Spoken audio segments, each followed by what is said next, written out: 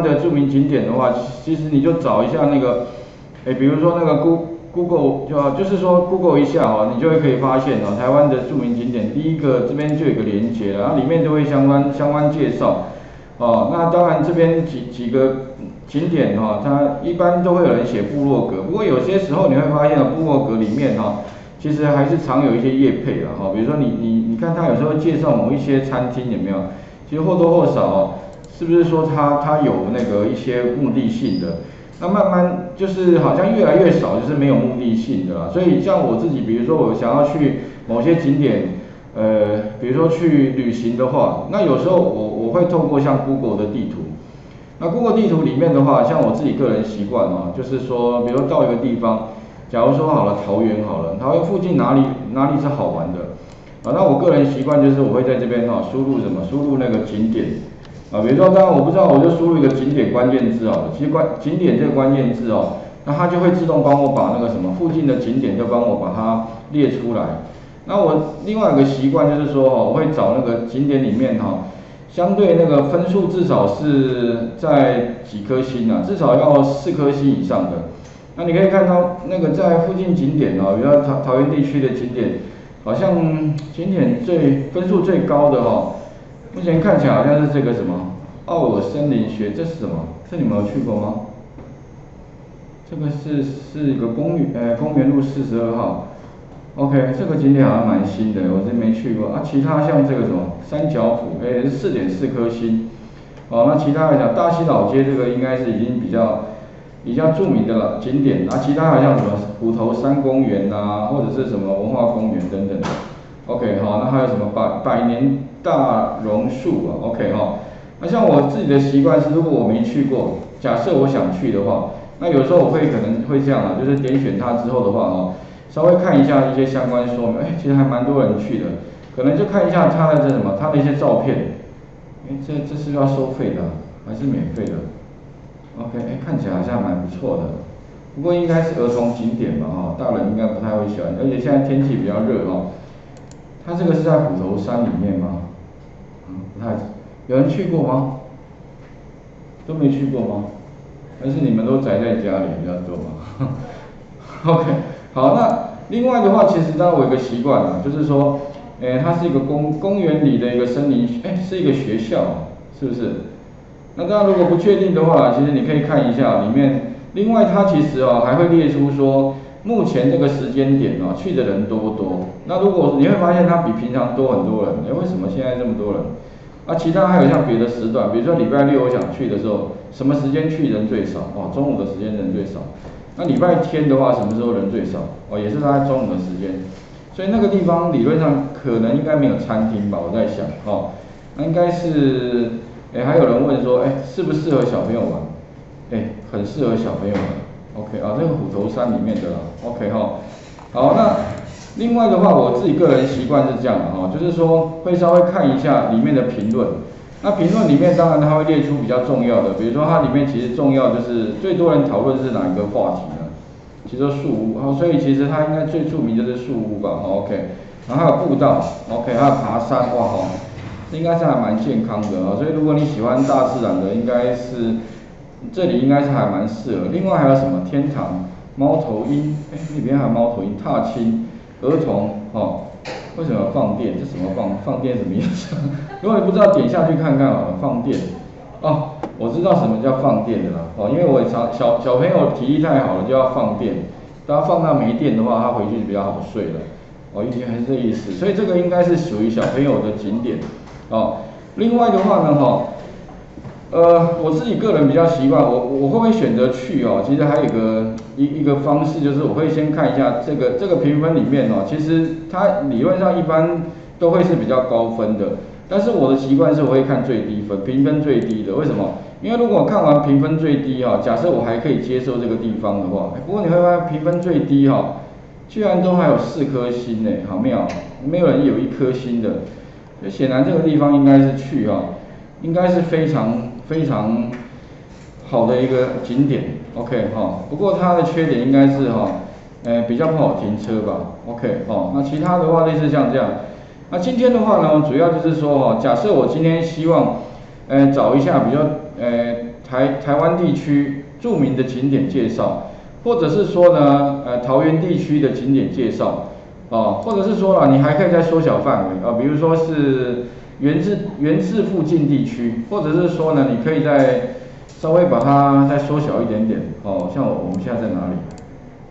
允许一下，OK 啊，如果我想知道自己的位置的话，你可以按一下这个，哦，它可以，哎，我现在在哪里？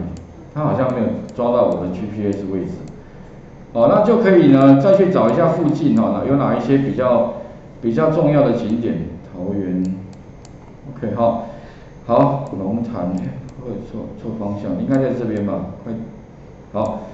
类似像这样了哈，那再来的话呢哈，嗯，所以你们可以再想想，因为今天我们这一题哦，我是希望说你们可以再把它稍微改一下，介改成介绍就是某一个地区的一个著名景点介绍，OK，好，那首先的话我们来看一下啊，就是说请各位一样到云端里面看一下啊，我们这一题基本上第一个就是说的哈，它一零四题旅游相簿。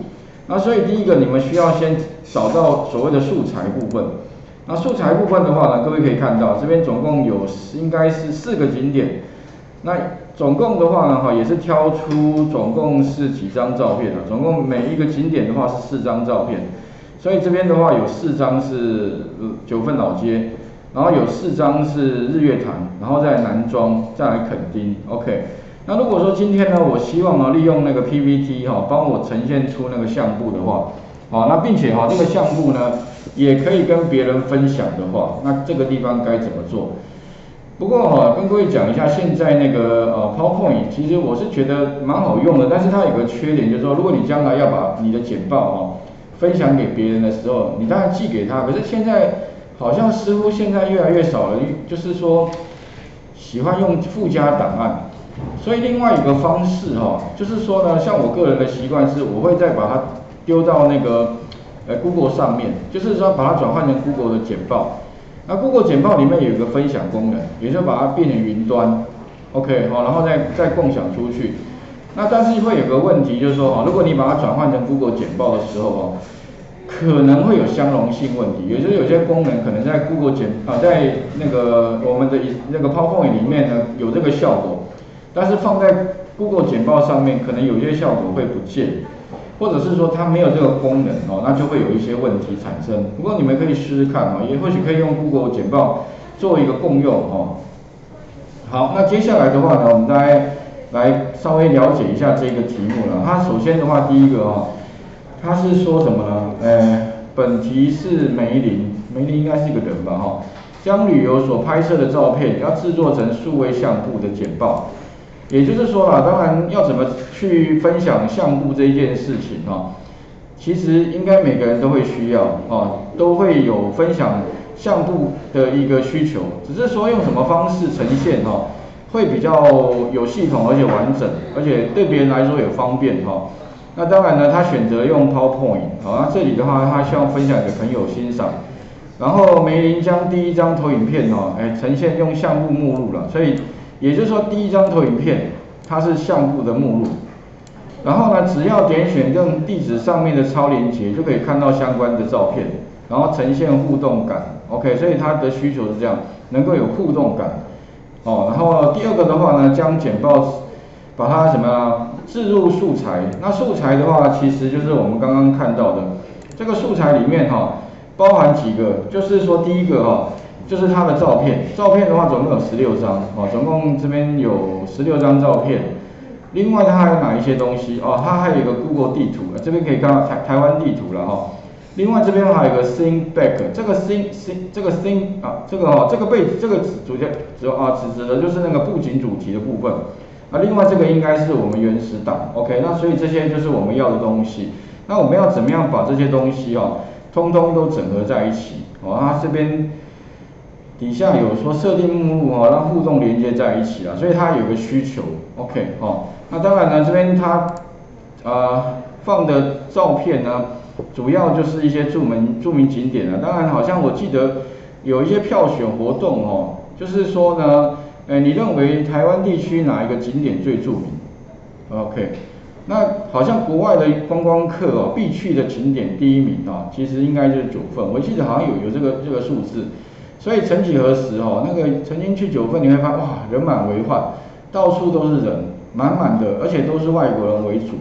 那现在的话，当然因为疫情的关系，人就不进来了哈。那另外的话，提供给各位一个我觉得有有帮助的一些相关功，像云端上面的，像刚刚看到那个 Google 地图之外哈，其实呢，Google 里面哦有一个功能叫 Google 的相簿。不知道各位不知道有没有用用过这个 Google 相簿的功能？那这个啊 Google 相片啊，Google 啊 Google 相片的话呢，其实哦，它最近的一些功能我觉得越做越好。虽然说它现在要收费了，不过哦，诶有些功能其实还蛮好，包含就是说你想要找你曾经照过的人，他会做人脸辨识之外，甚至哈，比如说像我在那个我的相片里面哈，想要找什么呢？啊这有些哈 OK。然后呢，你就可以在上面搜寻一下，OK，好，搜寻什么呢？搜寻那个地地址的关键字，或者是说呢，哈，你的那个什么呢？你的那个，呃，人脸啊，它会帮我把所有的照片哦，通通都列出来，哦，其实我觉得这功能其实还蛮不错的哈。那不过前提是说你可能会需要开启那个，就是你的手机上面的 GPS，啊，另外的话呢，哈，哎，有一些。像时间轴也是一样，它也会记录，就是你所有去过的地点啊，甚至你曾经几月几号去过哦，哎，它会帮你列出来，啊，所以其实这些功能的话，哈，不妨你们可以多多利用，哈。那今天的话呢，接下来我们就是把那个刚刚讲到这一题啊，稍微再，呃，说明一下啊。那首先，当然第一个哈，他说先帮我开启这个 PPT 零一。然后最后存档，请各位存成 PPA 一零四好了，就不要存成 PPA 零一啊，因为零一的话变成每一个都 PPA 零一哈。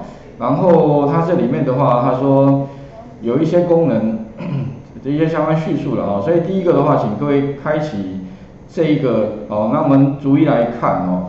那第一个的话呢，它是要新增相簿哦。然后把它汇把那个景点汇入进来，然后并且存成 PPA 一，这个存成一零四好了啊。那所以呢，第一个的话哈，我们就是先开启那个我们的简报哦。那当然这这个地方它先直接就先开启，所以第跟前面那一题不太一样的部分哈，哎就是说呢，我们开启那个哎 PowerPoint，然后再来的话呢，开启空白的简报。那接下来的话呢，你们可以找到插入里面有一个插入那个什么相片相啊插入相簿，新增一个相簿，OK。那如果说我今天哦第一个动作呢，他是希望说帮我把什么把这些照片哦通通都放进来，总共有十六张哦。那我这个十六张照片的话，当然哦，哎我可以怎么样？可以把那个不过它有个顺序哦，它要先九份，再来男装，再来日月潭。再来垦丁啊，那这个排排列的顺序哦，应该是按照那个就是由北到南的这这个顺序哦，所以我们来看一下。但第一个啊，你先开一个空白的简报。那第二个我要怎么样可以把那个相片放进来？那你可以看到插入相簿啊，有个新相簿，那你可以点选由此插入图片的选项档案哦，然后找到呢，我我是把它解压缩到桌面上。所以各位可以看到桌面上有那个 PPT 的练习题，那并且找到一零四哈，并且把这些所有的相片呢把它选起来，选完之后的话按插入就可以了。那各位可以看到啊，它就会有总共十六张照片就通通进来。那再来哈，不过会有一个问题，什么问题？它的顺序好像不对，应该是先男装再日月潭。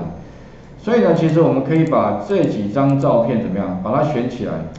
那但是我要把它移动到下面哦，当然移动的话，你会发现这边有上下，呃，不过你会发现，我们如果要四张一起移动，这条可不可以？我试一下，如果假设四张一起的话，理论上应该是按 Shift 键，看一下这个有没有资源，它好像没有资源，哦，所以你按 Shift 键呢，它没有办法帮你做连续选取的话，那表示说哈，它没有资源什么多选，那怎么办？变成你要一张一张移动，那怎么移呢？你请你把日月潭的第一张移动到男装的下方，所以呢，就点选第五张照片，然后按箭头向下。哎，哦对，OK 哈，哎，不过它好像一起移动了，哦，所以哦，如果假设你你 它这个功能设计比较不人性化了，这个 UX 啊做的好像不是很啊，所以其实我们只要勾选就表示说按 Shift 键的了，OK，所以记得把这四张打勾，然后呢按下向下，它就四张一起。我记得好像旧版哦，旧的版本好像就是变成你要一张一张移动，其实比较不人性化。再不然的话，就是说有一些呃以前的功能或者是别的地方，它是可以拖拉的，但是我们这个地方是没办法拖拉的。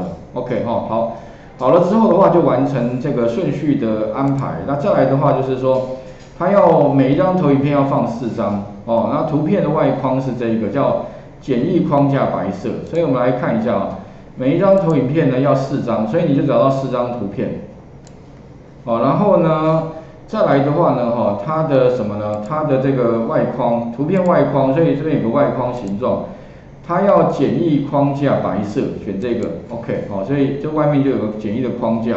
再来的话，布景主题部分，那布景主题的话，它这边已经有提供给我们叫 PTO 啊不 POTX，这个 POTX 其实就是。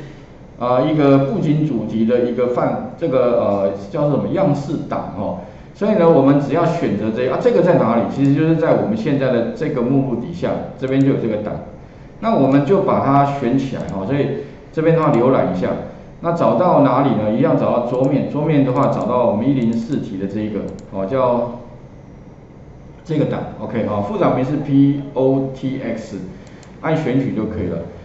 选完之后的话呢，哈，最后看一下还有哪些地方要设定的。呃，它还有没有？我印象中好像是不是？